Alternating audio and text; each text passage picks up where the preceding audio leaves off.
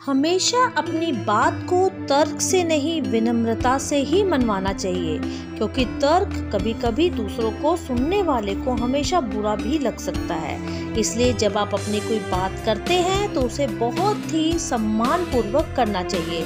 रचनात्मक ऊर्जा के लिए हमेशा ज़रूरी है नींद। मशहूर कलाकार, मशहूर राजनेता हमेशा अपनी नींद को हमेशा प्रेफरेंस देते हैं। यानी कि वो कुछ अंतराल के बाद एक छपकी लेते हैं, कुछ नींद लेते हैं ताकि उनमें ऊर्जा बनी रहे। मशहूर कलाकार लियोनार्डो दा विंची के बारे में भी यह मशहूर है कि वो हर चार घंटे के अंतराल पर एक झपकी लेते थे। सफल लोग रचनात्मक ऊर्जा के लिए अपनी नींद को खास चार्जर के रूप में इस्तेमाल करते हैं।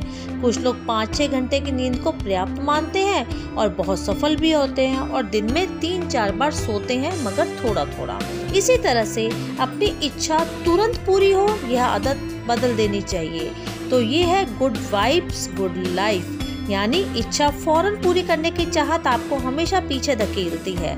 तुरंत इसका पता नहीं चलता, लेकिन बाद में आप खुद को मुश्किलों से घिरा पाते हैं। बीज एक विशाल वृक्ष में तब बदलता है जब उसकी अच्छी देखभाल की जाती है, उसे समय मिलता है, यानी पर्याप्त समय में कोई इच्छा पूरी होती है। इच्छा तुरंत पूरे करने की चाहत कभी ना रखें। अपना कर्म करिए, रखिए, फल तो मिलता ही है।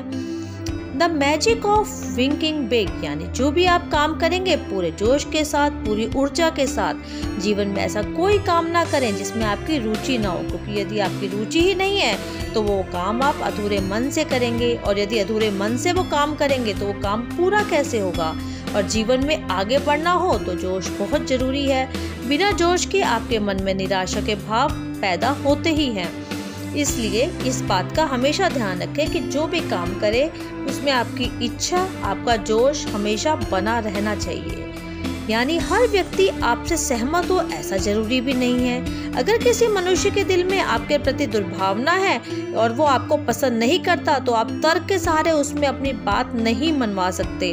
उसे आपकी सही बात भी बुरी लग सकती है। उन्हें इस बात के लिए मजबूर नहीं किया जा सकता कि वो आपसे सहमत हो।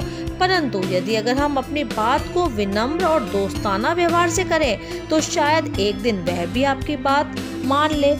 इसलिए अपनी बात को हमेशा तर्क से नहीं, विनम्रता से ही मनमाना चाहिए।